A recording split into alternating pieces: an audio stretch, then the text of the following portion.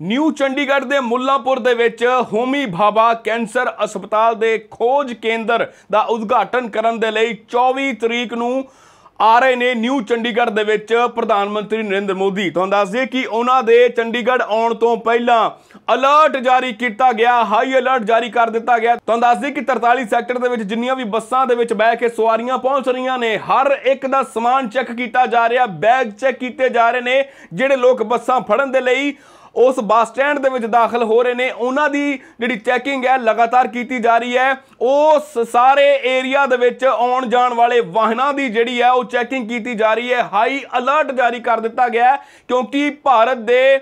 ਪ੍ਰਧਾਨ ਮੰਤਰੀ ਨਰਿੰਦਰ ਮੋਦੀ ਜਿਹੜੇ ਨੇ, ਉਹ ਨਿਊ ਚੰਡੀਗੜ੍ਹ ਮੁੱਲਾਂਪੁਰ ਵਿਖੇ ਆ ਰਹੇ ਨੇ ਔਰ ਉੱਥੇ ਹੋਮੀ ਭਾਭਾ ਕੈਂਸਰ ਹਸਪਤਾਲ ਜਿਹੜਾ ਹੈ ਔਰ ਖੋਜ ਕੇਂਦਰ ਉਸ ਦਾ ਜਿਹੜਾ ਉਦਘਾਟਨ ਹੈ, ਉਹ ਭਾਰਤ ਦੇ ਪ੍ਰਧਾਨ ਮੰਤਰੀ ਨਰਿੰਦਰ ਮੋਦੀ ਜੀ ਕਰਨਗੇ। ਤੁਹਾਨੂੰ ਦੱਸ ਦਈਏ ਕਿ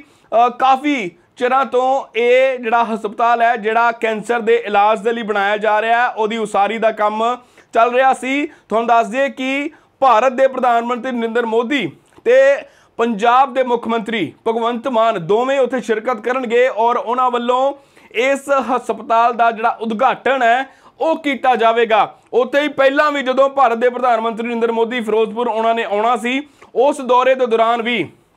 ਵੱਡੀਆਂ ਗੱਲਾਂ ਹੋਈਆਂ ਸੀ ਸਿਕਿਉਰਿਟੀ ਬ੍ਰੀਚ ਦੀਆਂ ਗੱਲਾਂ ਉੱਠੀਆਂ ਸੀ, ਪਰ ਹੁਣ ਉਸ ਤਰ੍ਹਾਂ ਦਾ ਕੋਈ ਵੀ ਕਾਰਾ ਨਾ ਹੋਵੇ, ਇਸ ਲਈ ਪਹਿਲਾਂ ਹੀ ਹਾਈ ਅਲਰਟ ਨਿਊ ਚੰਡੀਗੜ੍ਹ ਦੇ ਵਿੱਚ